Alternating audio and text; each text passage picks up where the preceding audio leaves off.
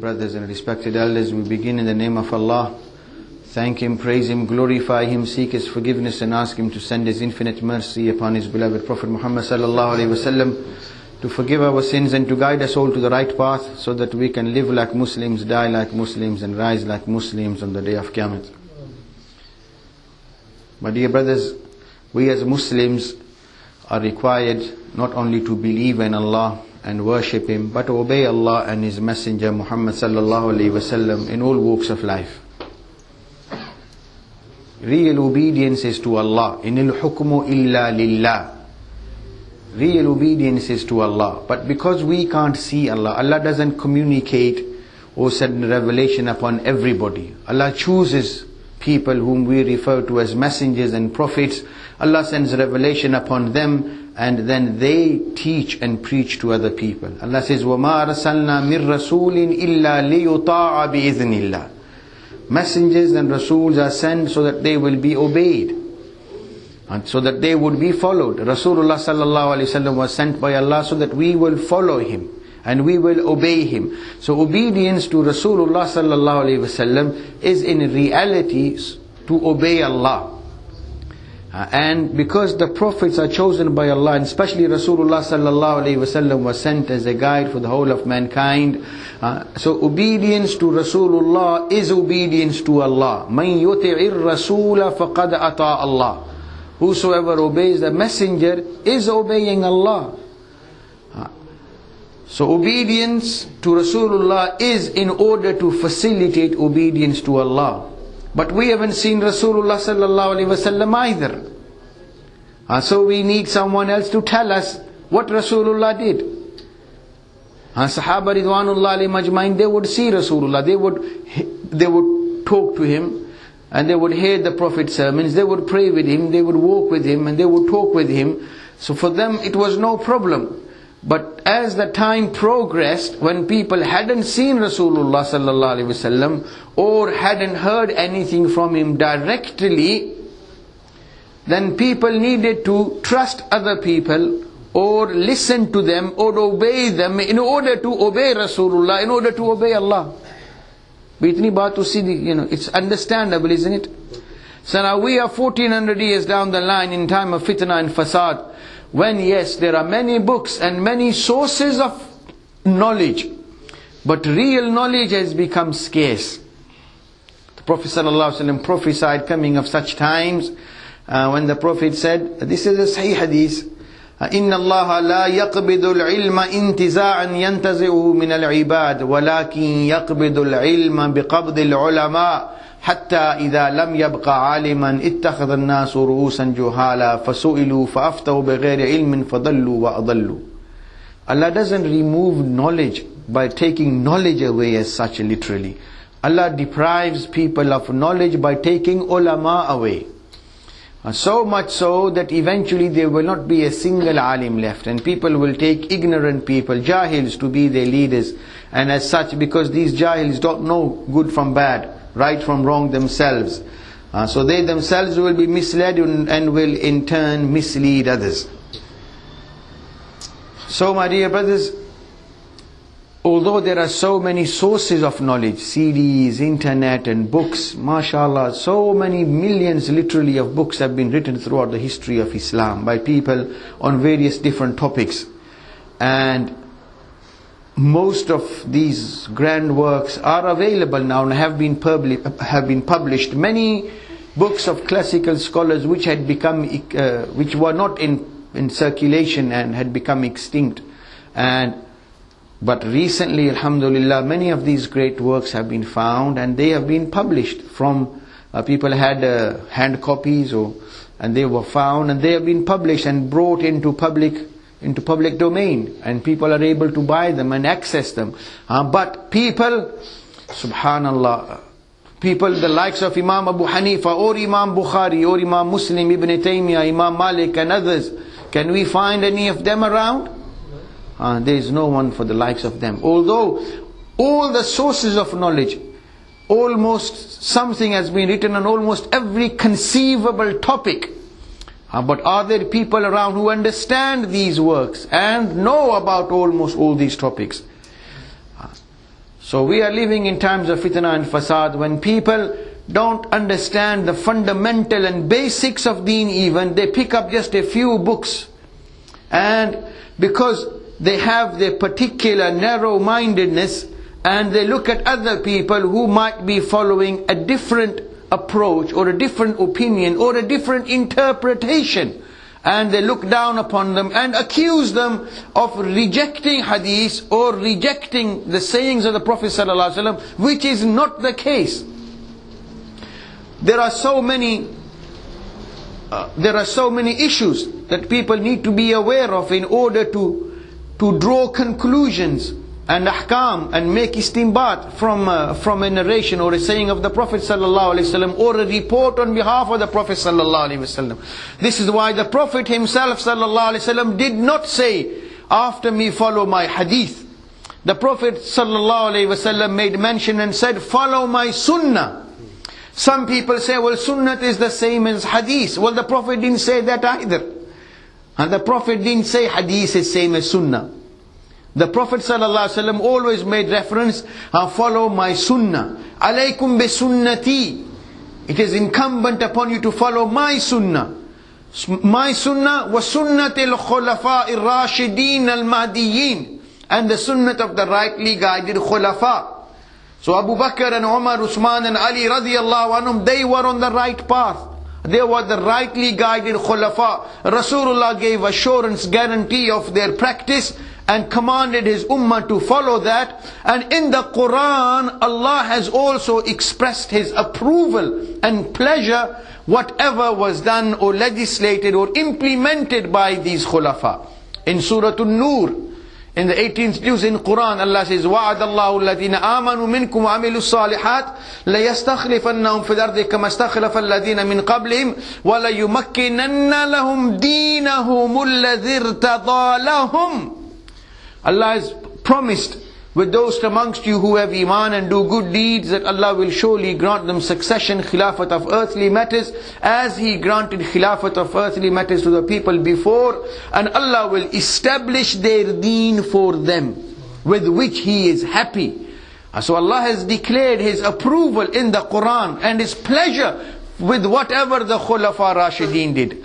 Initially Hazrat Abu Bakr, then Hazrat Umar, then Hazrat Usman, and then Hazrat Ali.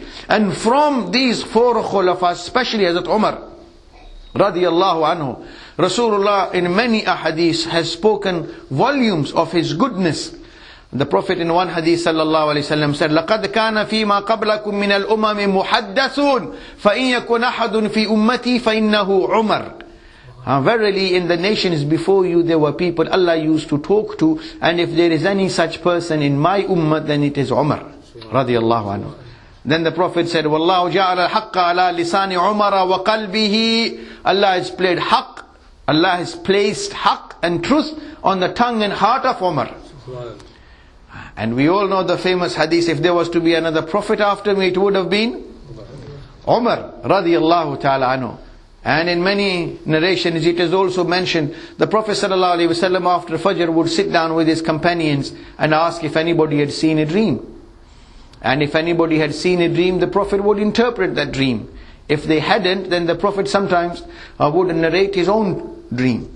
And the Prophet ﷺ on a number of occasions, he said, I saw a dream, I saw people wearing robes. Some up to their chest, some up to their uh, hips, thighs, knees, feet, ankles, feet and then he said I saw Umar his robe was so long it was dragging behind him. Sahaba said Ya Rasulullah what does that mean? The Prophet said knowledge deen.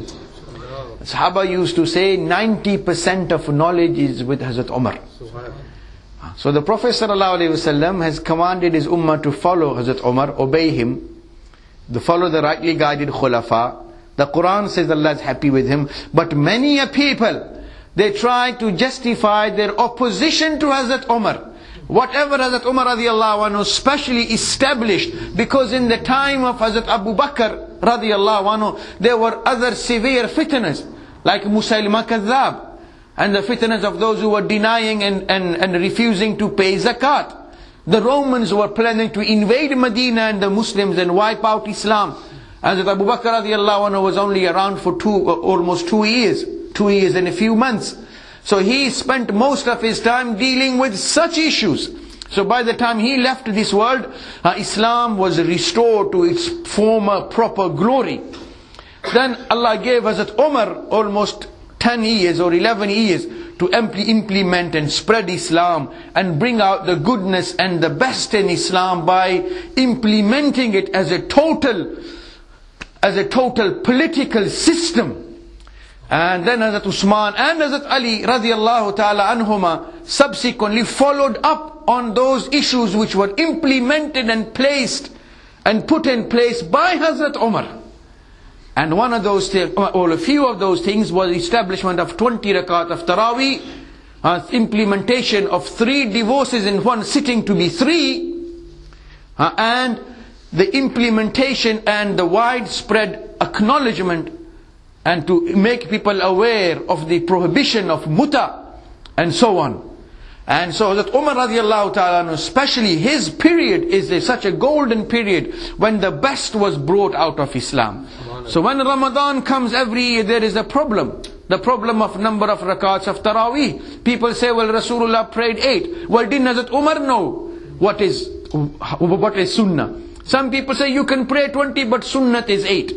Well, Hazrat Umar radiallahu anhu, amongst all the companions, including Hazrat Aisha radiallahu anha, when they established 20 rakat Taraweeh, and it is undeniable even Ibn Taymiyyah rahimahullah has acknowledged and stated clearly in his fatwa, in the time of Hazrat Umar, they established 20 rakat of Taraweeh amongst the Muhajirin and Ansar.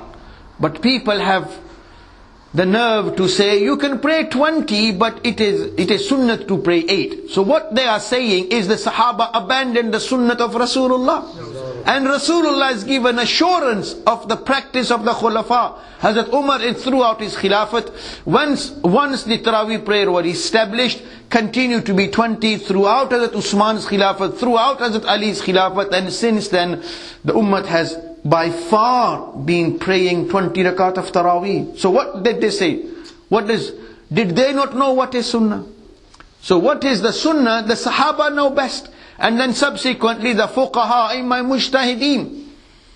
And then they compiled deen and presented deen into, in simple to follow instructions for the whole ummah. And subhanallah, my dear brothers, when people say, you know, hadith is the same as sunnah, number one, it, it, that doesn't say in the Quran hadith is the same as sunnah. The Prophet ﷺ didn't say it, and linguistically, Hadith only means a statement. It can be statement of regarding anything. Allah says in the Quran, Halataka hadithu Musa.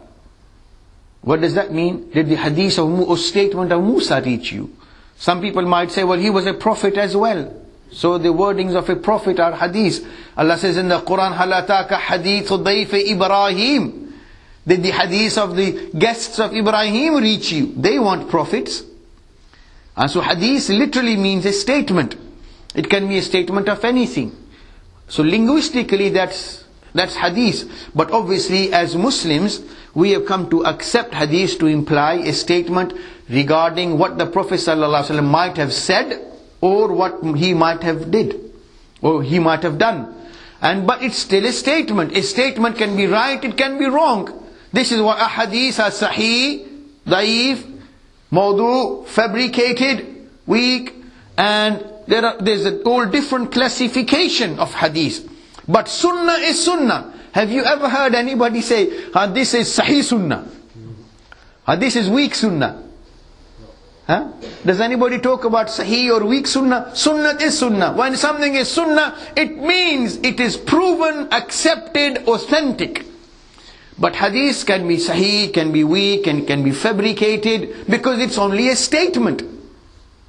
And whether a hadith is sahih or da'if, weak or authentic, it's a question of opinion. There isn't a single hadith anywhere in any book regarding which Rasulullah sallallahu alaihi wasallam said in advance, "Hada hadithun sahih." How can the Prophet ﷺ have said it when this when the hadiths were compiled, classified many generations later? So whether a hadith is sahih and da'if in itself is a question of opinion.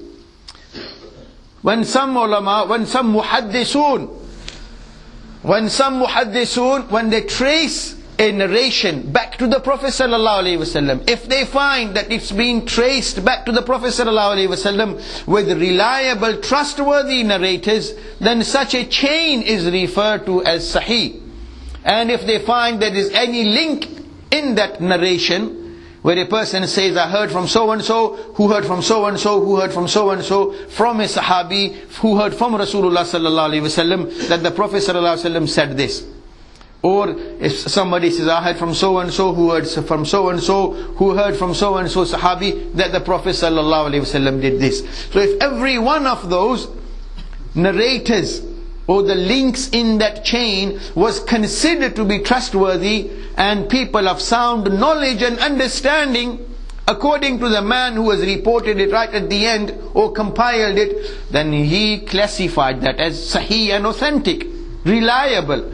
But if anybody found that any of those links or narrators in that chain were unreliable not trustworthy or their understanding and knowledge or absorption of what they would hear wasn't up to scratch, then they considered that to be a weak link. And then they labeled that narration as weak. But we find in society, and this is also apparent in uh, amongst muhaddisun as well, that everybody doesn't trust everybody. Although there are many people, they are well trusted by everybody, but some people might be trusted totally by someone and another person doesn't trust them at all. Like we have friends and people that we know, some people, you might not trust them with a penny, but somebody else might trust them with their life even.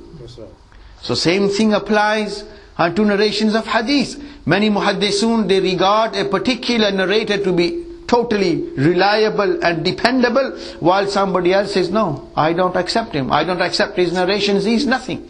So this is why in, in books of hadith, there, there are these complicated discussions, whereby one muhaddith says this man is reliable and the other, and another muhaddith says no, he's not dependable and we can't trust him, we shouldn't accept anything he says.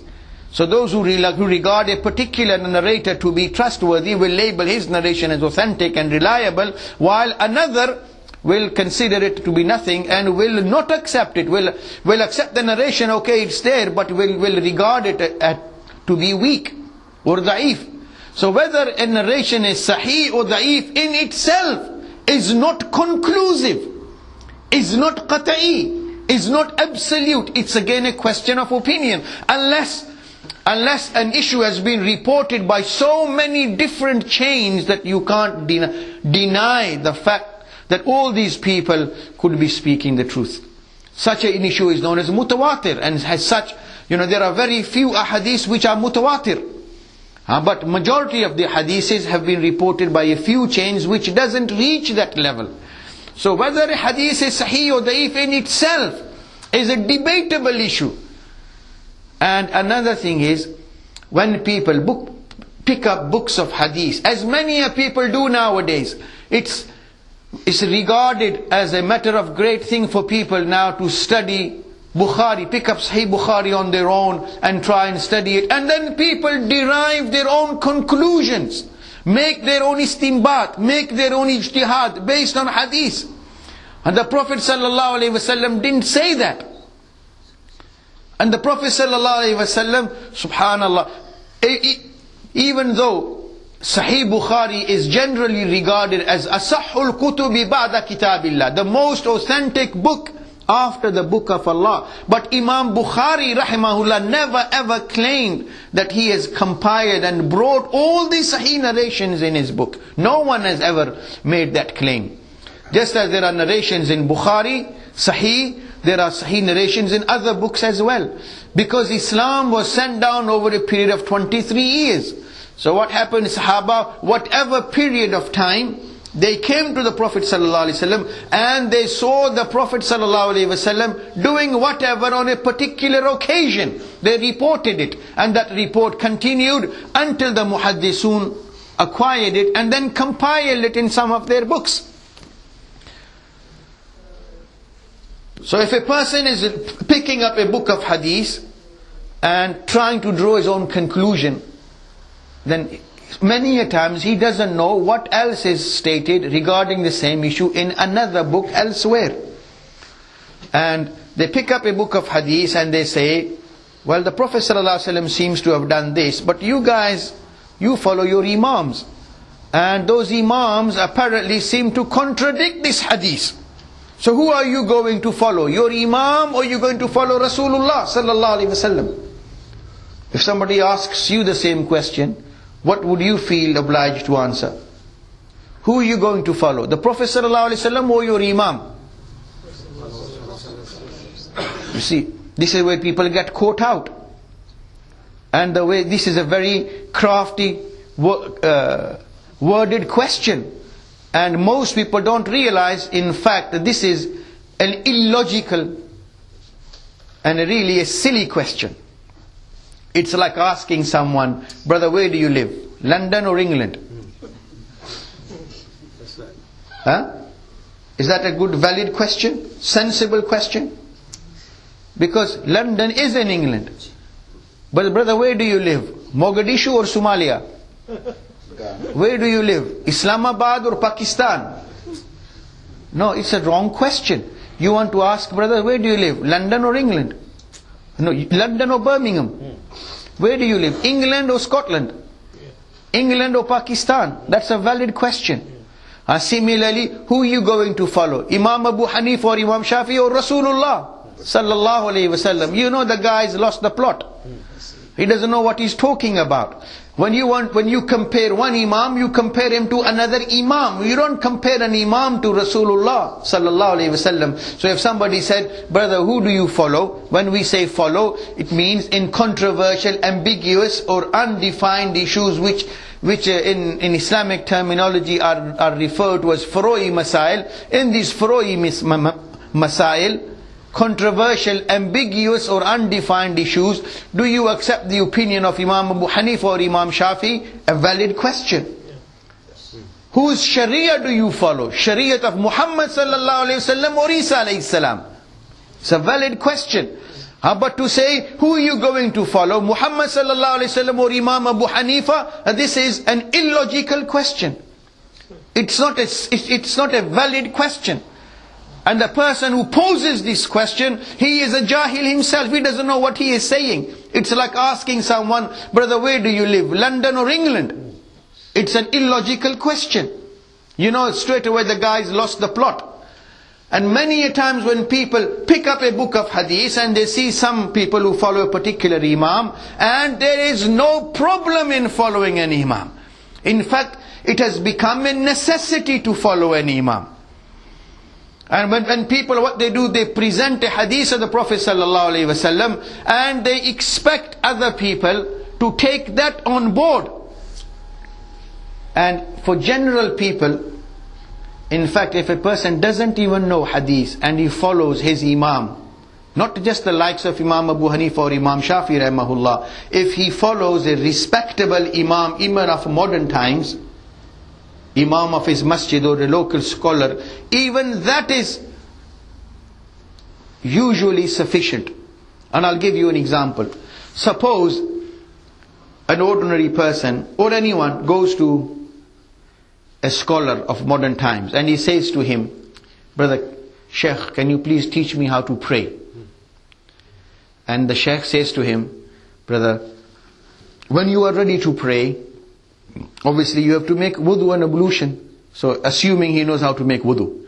So he says, brother, when you want to go to pray, the place where you want to come and pray, come and stand there, facing the Qibla. You know, point your feet, for example, towards the Qibla, and raise your hands up to your ears or up to your shoulders, and say Allahu Akbar, and then raise your hand, uh, place your hands right on top of the left, either below the navel or above the navel, wherever there's a difference of opinion amongst the scholars. and then recite Subhanakallahumma or inni wajjahtu wajhiya or any of the, of the du'as which has been uh, prescribed and then recite Fatiha, then a surah, and then say Allahu Akbar, go into ruku, make ruku, recite three times Subhana Rabbi al Azim, then rise from ruku, saying Sami Allahu liman hamida, then say Rabbana lakal hamd, then go into sajda, and then show him how to perform sajda, and what to recite in sajda, then get up from sajda, sit down, shows, shows him how to sit in between sajda, then perform another sajda, and then stand, rise, saying Allahu Akbar, that's one rakat done, and likewise he shows him how to perform and complete the second rakat, and he teaches him how to complete two rakats, or three rakats, or four rakats prayer, as might be the case. And while teaching him, he doesn't quote a single verse of Quran, doesn't make reference to a single hadith of the Prophet wasallam, doesn't quote any hadith from Bukhari, Muslim, Tirmidhi, Nisai, Abu Dawud, Ibn Majah, or wherever, doesn't make reference to single hadith. He just teaches this person what he has learned and how to perform the prayer like this by simple to follow instructions. What do you think? Do you think his prayer will be valid? This person who's learned to pray without being told a single verse of Quran or a single hadith, do you think his prayer will be valid or not? Sheikh, what do you think? Huh? His prayer will be valid. He's not been told a single hadith. He's not been told a single verse of Quran. He's been told what to do. Just raise your hands, recite this, do ruku like this, get up, make sajda, recite this. He doesn't know a single verse of Quran. Not a single hadith from anywhere. Bukhari, Muslim, Tirmidhi, Nisai, Abu Dawud, Ibn Majah, wherever. You all agree. And everybody will agree that his prayer will be valid if it's performed properly like that. Yes? So what does that prove? Ordinary person is not obliged to know hadith. If you were obliged, that means you would have all said, no, if you don't know the hadith and proof, your prayer is not valid. So, who has taught us how to do this? Raise your hands to wherever, tie your hands, recite what? Who has done this? Who has taught us? Who were the first people to come out with these simple to follow instructions? The fuqaha, the Imam Mujtahideen, and amongst them the first was Imam Abu Hanifa rahimahullah. Then was Imam Malik, then was Imam Shafi, then Imam Ahmad ibn Hanbal rahimahullah. And the Ummah, for uh, ever since after them, has been following this practice. When you were, when you all learned to pray your salat, when you were children, did you, at the age of five, six or seven, open Sahih Bukhari? and, and start learning, you know, reading, learning those hadiths? No. You, you learn to pray, most people, most Muslims rather learn to pray from their parents. Or from the local masjid wherever they go. And without knowing the evidences. I am not saying for one moment that Muslims should not learn the evidence. No, the evidence is there can be learnt, should be learnt. But it's not an obligation upon you to learn. Uh, if it was an obligation, then all of you would have said, if you don't know the hadith to back up your action, then your prayer is invalid. But you didn't say that. No Muslim, no Mufti will say that. And they can't say that. So it proves the vast majority of the people only need simple to follow instructions. Like when you go to the doctor. What does the doctor do? He analyzes, he assesses you, examines you, and then what he sees fit, he just prescribes the appropriate medicine in his opinion. Have you ever questioned his authority? No. Doctor, I need the evidence, please. You know, who invented this formula? And what makes you think that for my specific situation, I need this particular dose. And in that quantity, and what makes you think that this particular company who's manufactured this particular medicine is the right one? And if anybody does, what will the doctor say to him? So, so similarly, in deen, the issue is the same. Our deen is the deen of fitrah.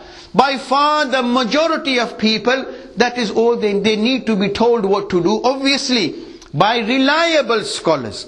And people you trust, people who've been trusted, and who better than someone who has been trusted for centuries? These grand fuqaha, Imam Abu Hanifa, Imam Malik, Imam Shafi, and Imam Ahmad ibn Hanbal, rahimahumullah, have been trusted and followed by the greatest of scholars this ummah has ever known. So if you follow these one of these imams, for example, in such controversial, ambiguous and undefined issues, you are following 1200 years of Islamic scholarship. And on the footsteps of 1200 years of the Ummah being on the right path. And it is only recently now, mashallah, with the spread of the printing presses and so on, that many of these books have become readily available. Otherwise, in most parts of the Islamic world, these books weren't even readily available. So what are we saying? Thus, for 12, 13 centuries, the whole ummah was deprived of guidance.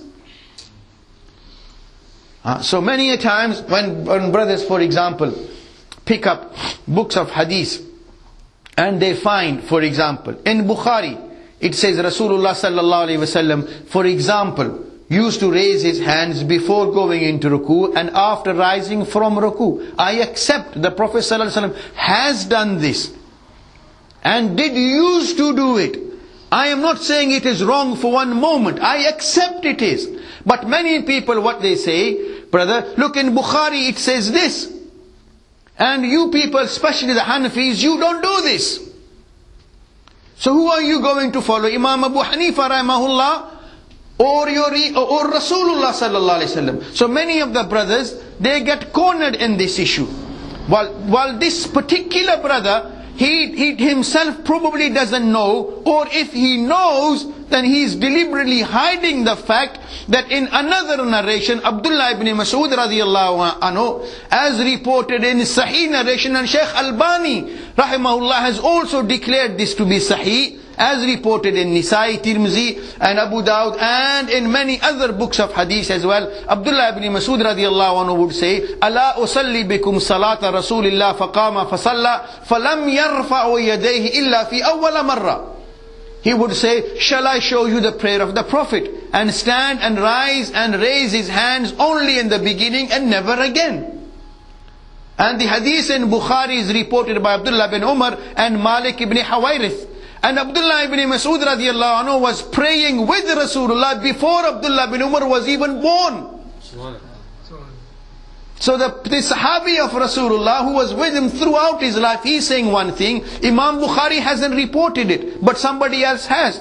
But they say, brother, but it's in Bukhari. But in Sahih Bukhari it also says, Rasulullah sallallahu alayhi wasallam used to stand and urinate. So how many of you stand and urinate?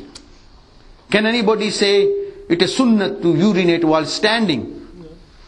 And then especially brothers, they say, well whatever Rasulullah did, it was valid for men and women. So okay, men might be able to stand and urinate, but how are you going to teach your wife or daughter to stand and urinate?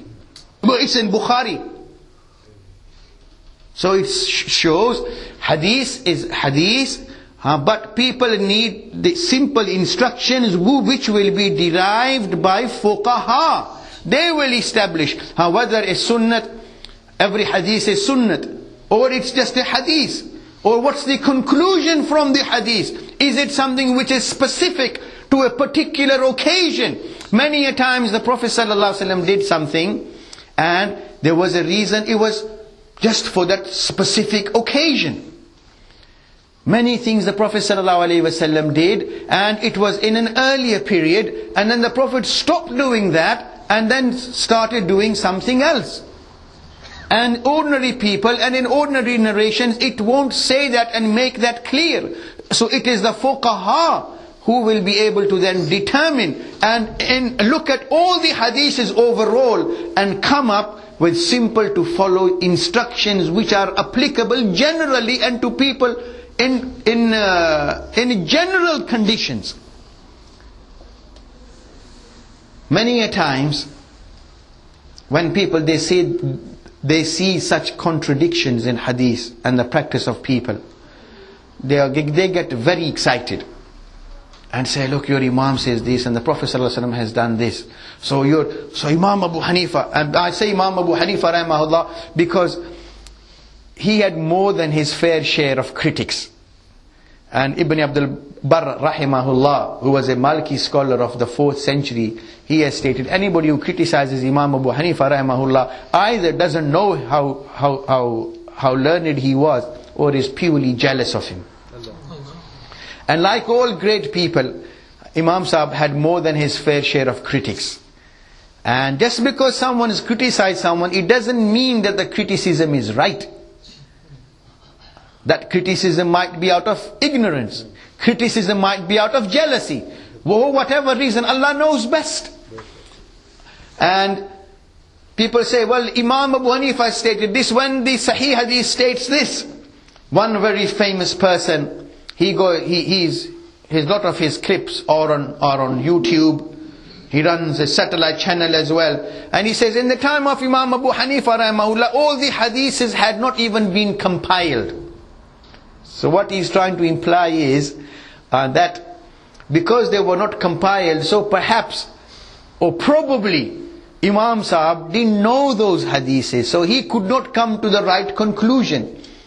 And that is an absolutely, what can I say, is a baseless accusation and it doesn't fit any scholar to make such a claim. Because if this claim that because hadiths had not been compiled by the time of Imam Abu Hanifa they were compiled after the time of Imam Bukhari who was who was then followed by people like Imam Muslim, Imam Tirmizi, Nisai, Abu Dawud, Ibn Majah and others. So in the third century of Islam all the hadiths were compiled. So this would mean that whatever Sahaba did as well wasn't valid because hadith wasn't even begun to be compiled in their times.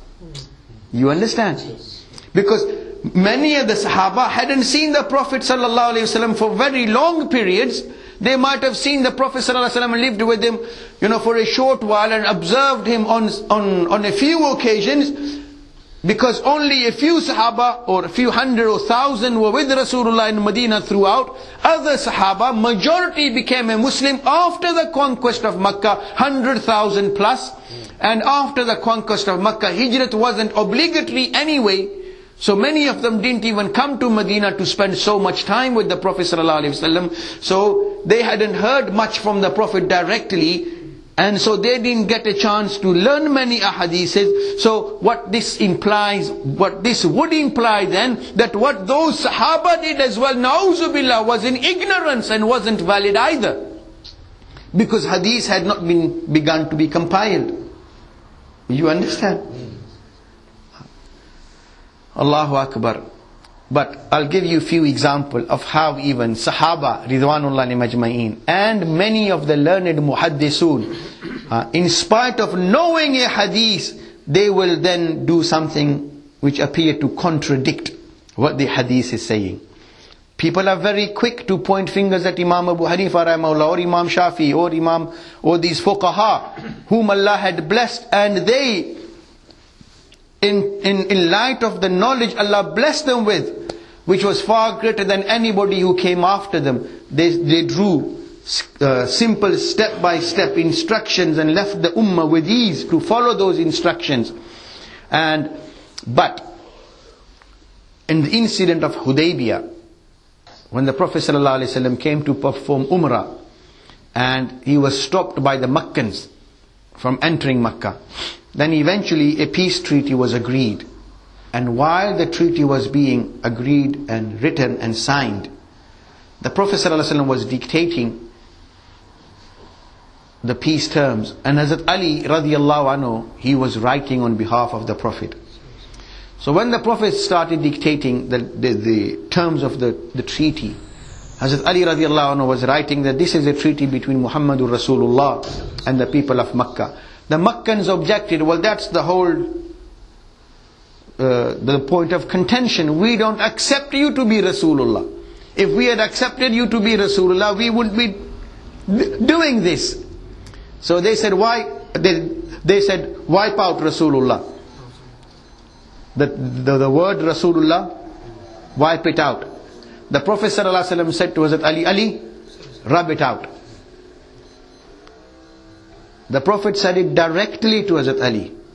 Imam Abu Hanifa or any of the other Imams, if they draw a conclusion they haven't heard, or the Prophet ﷺ say things directly to them. Whatever somebody else might be presenting again as evidence against the Imam, he didn't hear it directly either. But here, in this incident, Rasulullah said directly to Hazrat Ali, Ali rub it out. And then Hazrat Ali's response was as narrated in many books of hadith, including Sahih Muslim. Hazrat Ali said, Wallahi la amhaha. Rasulullah said, rub it out. Hazrat Ali said, I swear by Allah, I will not rub it out. Is that not a direct, direct denial of what Rasulullah was saying? So those who are quick to point fingers at Imam Abu Hanifa, what will their fingers be pointing at? How many fingers will they be pointing at as Ali? The Prophet ﷺ said to Ali directly, Ali rub it out. And as Ali didn't say, Ya Rasulullah, how can I? Imam Muslim rahimahullah has, has quoted in his Sahih, Hazrat Ali's answer was, Wallahi la amhaha. I swear by Allah, I will not rub it out. So how many dare will any Muslim in his right frame of mind, senses and iman dare say that Ali was nauzubillah, nauzubillah wrong to say that? What will you say? Hazrat Ali, his strength of iman did not enable him to rub out Rasulullah. So he, when he said, Ya, I swear by Allah, I will not rub it out. Was that in denial of a command of Rasulullah or in love of Rasulullah? Love of Rasulullah sallallahu alaihi wasallam that I cannot hear Rasulullah. But the apparent, when you look at it, what was actually said, isn't that a direct denial of what Rasulullah was saying? There was an incident when the Prophet ﷺ sent an army to Banu Qurayza while the Khaybar expedition event was taking place The Prophet ﷺ sent a group of Sahaba to Banu Qurayza. According to some narrations, the Prophet ﷺ said to them, None of you should pray Zohar Salat except in Banu Qurayza. In another narration it says, and the Prophet said that none of you should, should pray Asr Salat except in Banu Qurayza. So it was either Zohar or Asr. What the Prophet ﷺ had meant was before the prayer time ends, reach there so that you can say your prayer there. What happened? The Sahaba become, became delayed.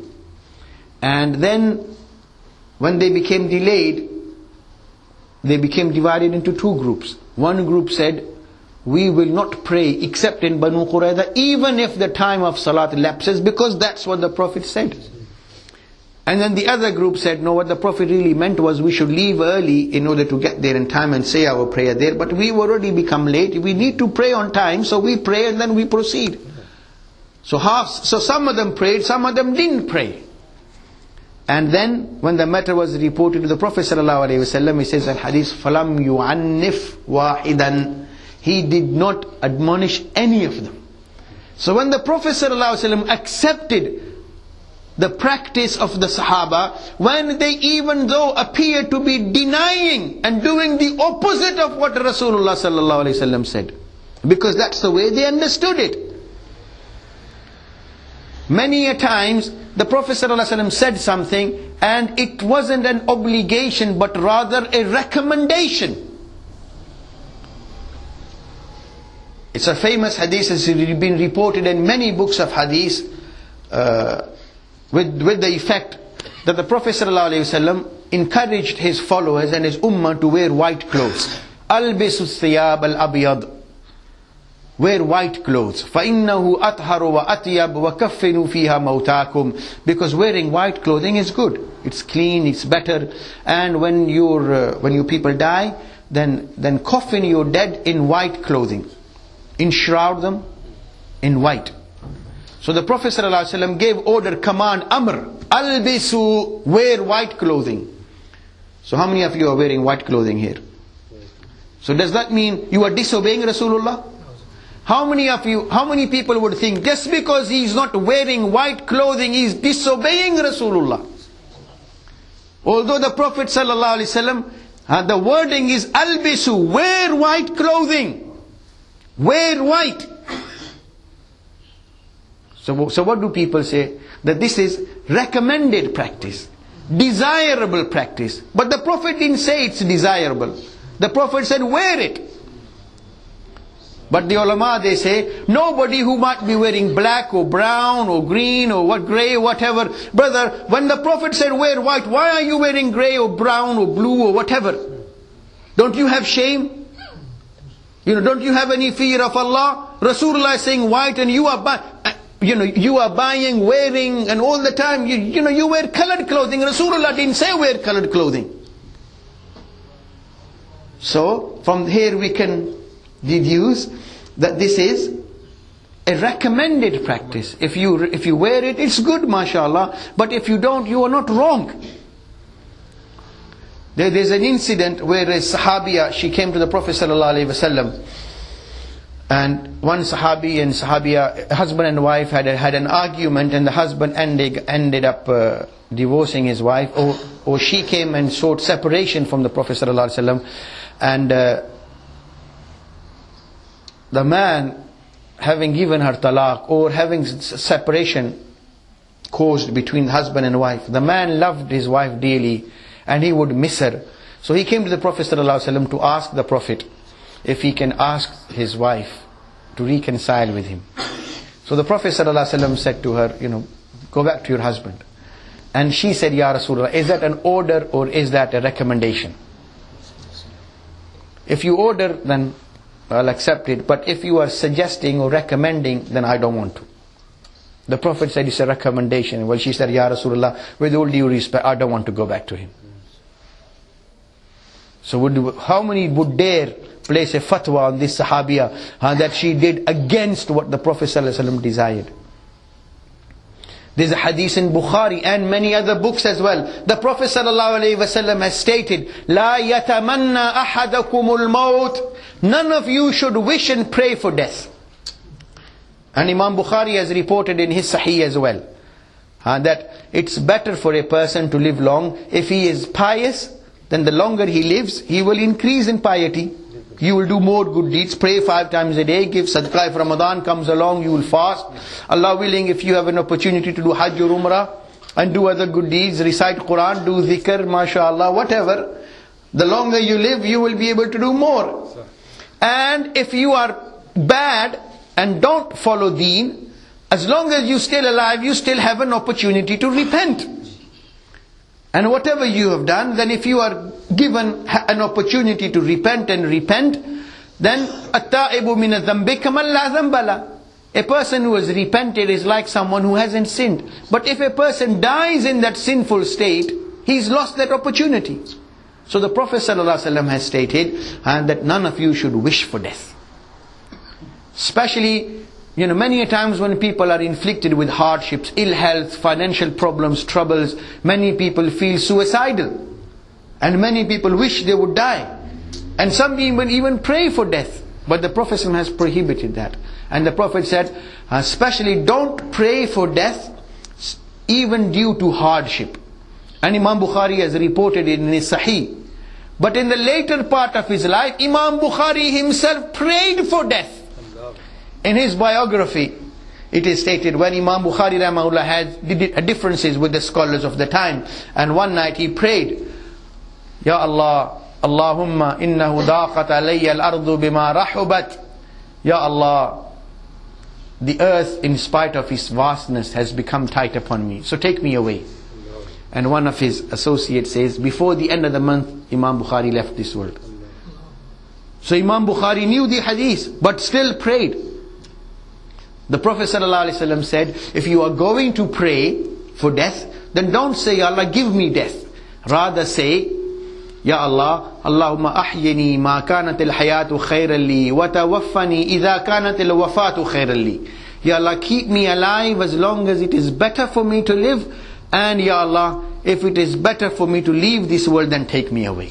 Sometimes a person is on the good, he's doing good, but because of problems, he can't remain, he finds it difficult to remain on the straight and narrow. So for such a person, might become better to leave sooner than later. But for an ordinary person who's on the good, better if he lives longer. And if he's on the wrong path, still at least he has a chance that he might repent. And if he repents before dying, all the better. But if a person dies, he's lost that opportunity. But Imam Bukhari rahimahullah prayed in spite of knowing the hadith. He didn't say, Ya Allah, keep me alive as long as it is better for me to live. And then take me away when it is better for me to die. His prayer as reported in his biography is, Ya Allah, take me away. So ulama have stated because the hadith said due to hardship. And it was general hardship.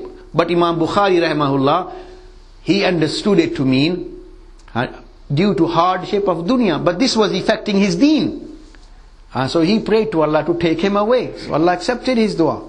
But he did what apparently contradicts the hadith. So do people say, people are very quick to point fingers at Imam Abu Hanifa, but do they point fingers at Imam Bukhari? Sometimes you read a hadith and if anybody tried to obey that hadith or to do what the hadith says, in fact, he will be doing the opposite of what Rasulullah actually wanted. I'll give you another example. From Madinatul Munawwara, Makkah is in a southerly direction. If you see the map, Makkah Mukarramah is lower down on the map, Medina Munawwara is further up. So Medina is in the north from Makkah, so, but from Medina, Makkah is in, in a southerly direction.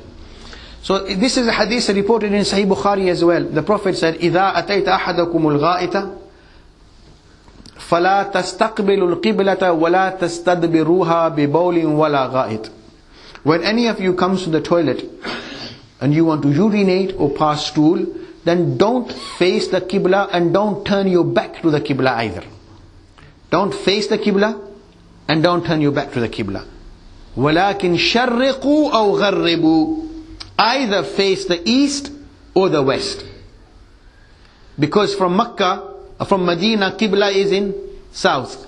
So the Prophet ﷺ was saying, so when you come to the toilet, whether you want to urinate or whether you want to pass stool, uh, don't sit facing the north or the south.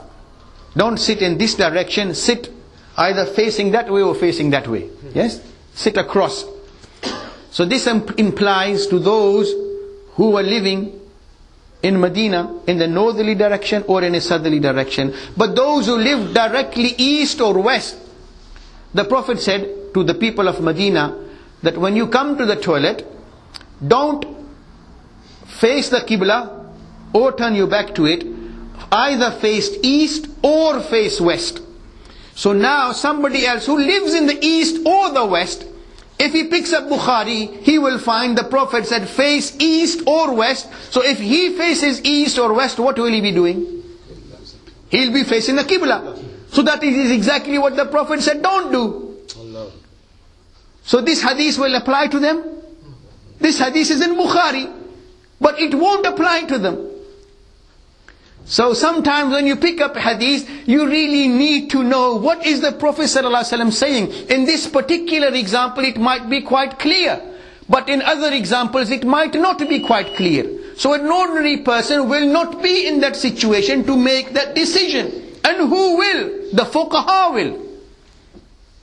And so when, when, I've given you five examples. And this is just from the tip of the iceberg. The first one, Hazrat Ali radiallahu anhu. The Prophet is telling him to do something, and what is he saying? The Prophet is telling him to do it, and he's saying, Wallahi, I won't do it. So if anybody makes a fatwa on Abu Hanifa rahmahullah, of denying, rejecting, doing the opposite of hadith, what will his fatwa be for Hazrat Ali?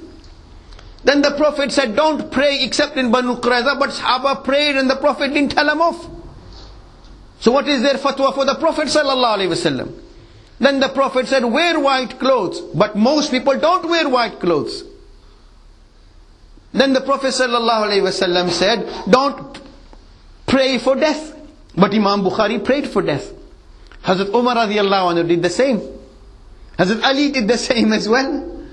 When Hazrat Umar radiallahu was returning from his last Hajj, and he stopped at a place, he looked up, Ya Allah, I've grown old. My thoughts have become scattered. Ya Allah, take me away before it's too late.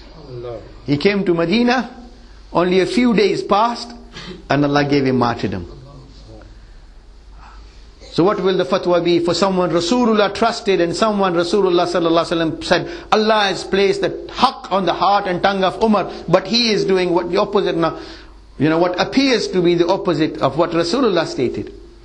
And then a classic case of when if someone tries to do what Rasulullah sallallahu said, he will be disobeying Rasulullah and doing the opposite of what actually Rasulullah wanted in the case of going to the toilet. As those who live in the east and the west, the Prophet said, according to Imam Bukhari's narration in his Sahih, the Prophet said, face east or west, and those who live in east and the west, if they face east or west, they will be facing the Qibla, or turning their backs to the Qibla. And so the issue of drawing conclusions, making istimbat, isn't everybody's cup of tea. And this is for the fuqaha. And if an ordinary person makes his decision, even if he happens to be right, he's wrong. But if a mujtahid makes a decision, makes istimbat, even if he was wrong in his decision, Rasulullah sallallahu will still reward him. Ajr. Wa in asaba falahu ajran.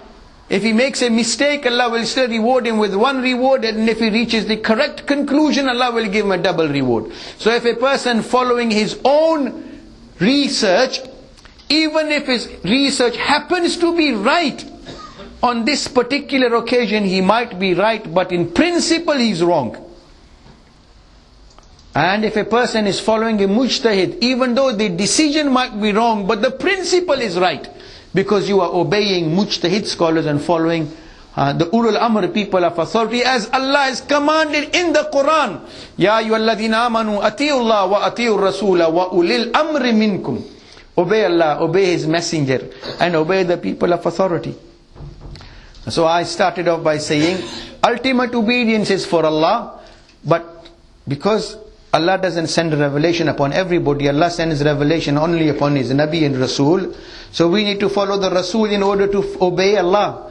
But the same principle can be extended to us as well. We haven't seen Rasulullah. So we need people to tell us what Rasulullah sallallahu alaihi wasallam might have said or done. And picking up books of hadith, which are just books of statement, even though a particular narration might be sahih, although in by far some narrations are sahih, some weak, some fabricated, and uh, so relying on narrations isn't the solution. And ordinary people are not required to know a hadith in detail. As I gave you an example, if somebody who learned to pray without knowing a single verse of Quran or a single hadith, you all agreed and everybody will agree his prayer will be valid. Uh, so ordinary people, uh, in light of Quran, need to follow fuqaha. Hadith is important, is to be respected, taught, learnt. Uh, but the conclusions from hadith are to be drawn by fuqaha, not by ordinary people. But the problem, unfortunately and sadly, is uh, too many muftis min al muft, freestyle muftis are drawing conclusions when they have no knowledge and grounding and authority to draw conclusions. And people who are following the Quran and authentic hadiths as presented by the Imams, and they are being critical brother, who are you going to follow, Imam Abu Hanifa or the Prophet? So next time anybody says to you or asks you this question, you know the guy isn't talking good language, he's talking the language of shaitan and he's lost the plot himself. May Allah subhanahu wa ta'ala save us and guide us all to the right path.